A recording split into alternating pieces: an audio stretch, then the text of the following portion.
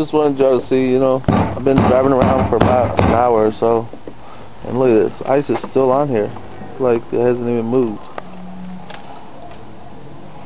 It's crazy. See? All this ice. Look, I can't even get this ice off here. It's coming off the windshield, but it's not coming off the hood, or the, the trunk. So I want y'all to see how crazy it is. I mean, there's ice everywhere on our car. And like I said, been driving around, but still, look even the hood or the roof. Look at that. Just huge sheet of ice. Can't even get it off. Look at that. See that? It is crazy. Just all the ice.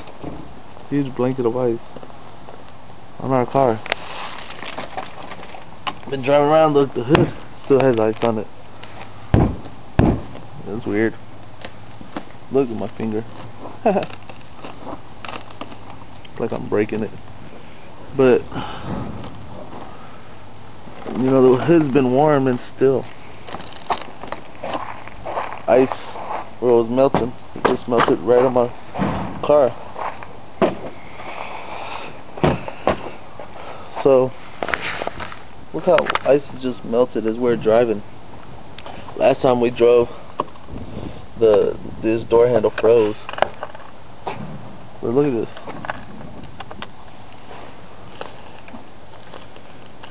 This is crazy.